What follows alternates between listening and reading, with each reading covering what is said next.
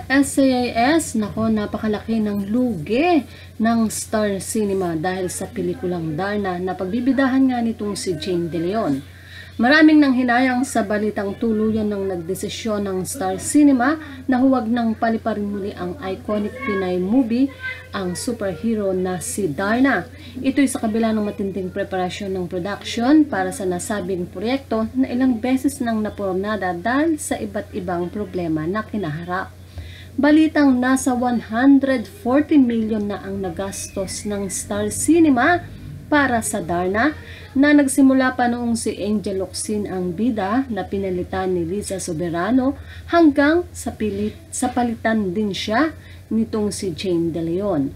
Marami ang nagkomento na mukhang hindi pa nga ito ang tamang panahon para muling paliparin si Darna dahil sa dami ng problemang hinarap ng produksyon.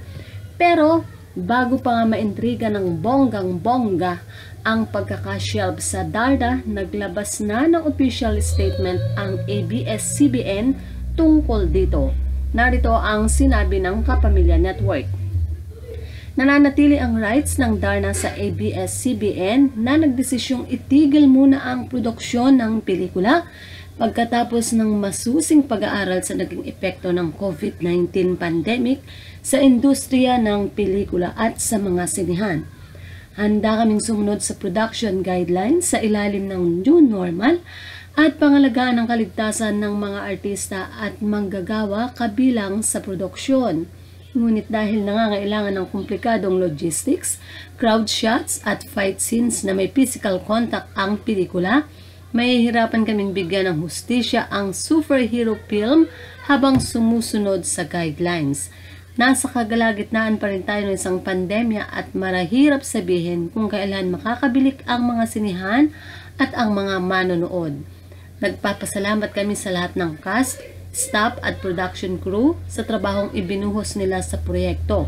Nagpapasalamat din kami sa pamilya Ravilo, sa fans ni Darna at sa publiko para sa suporta at pangunawa. Ito nga po ang pahayag ng ABS-CBN at ng Star Cinema na balita nga po na nalugi ng 140 million dahil ito sa epekto ng uh, pandemic ano po dahil nga sa COVID-19. At ito nga kanilang statement ay hindi na nga po daw makakalipad muna ang superhero na si Darna. It kinalungkot naman din ito ng bida sana na si Jane De Leon sa kanyang face, sa kanyang Instagram account.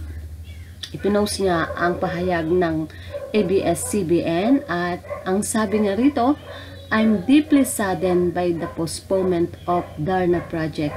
However, safety comes first as always.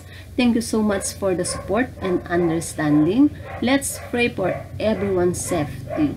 God bless. So yan nga po ang pahayag ng uh, bida na sa pelikulang Darna ano po na si Jane De Leon na ikinalulungkot nga niya ang postpone, postponement ng nasabing pelikula na marami ding nag-aabang ano po dahil ito nga ay pinagbidahan nitong si Angel Oxin. At sumunod nga, dahil hindi na pwede itong si Angel Oxin, ay napili nga itong si Lisa Soberano. Subalit nagkaroon ng problema si Lisa Soberano sa parte ng kanyang daliri na hindi nga po pwede para ituloy niya uh, na magbida sa nasabing movie.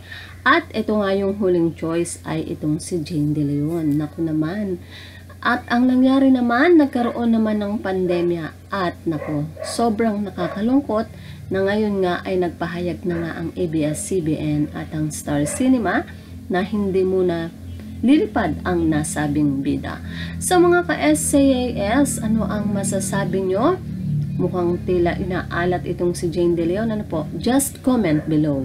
At syempre, huwag kakalimutang mag-like, share, and subscribe dito pa rin sa SAAS. At lagi ko pong paalala, ingat ang lahat. God bless everyone.